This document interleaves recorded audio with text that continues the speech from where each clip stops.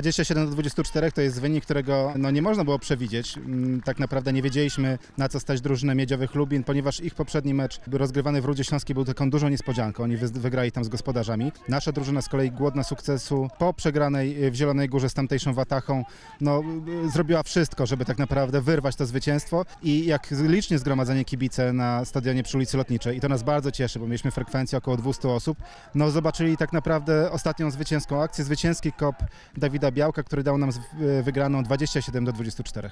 Pewnością Lubin y, postawił bardzo twarde warunki, bardzo grali ofensywnie, dobrze ręką, ale moja drużyna z kolei pokazała bardzo y, twardy charakter i walczyli do końca. Dzisiaj dobra dyspozycja Dawida Białka, ale wszystkim całej drużyny w obronie.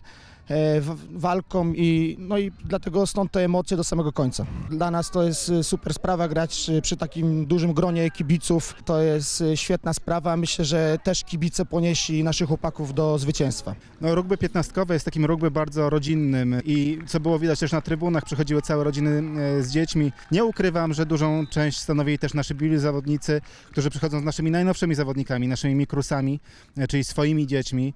E, Rugby piętnastkowe jest bardzo przystępne dla wszystkich widzów. Ponownie jesienią zagramy 23 października też tutaj z drużyną budowlanych Lublin. Natomiast cieszę się, że coraz więcej osób zagląda do nas. Przychodzą też postronni widzowie i zostają z nami.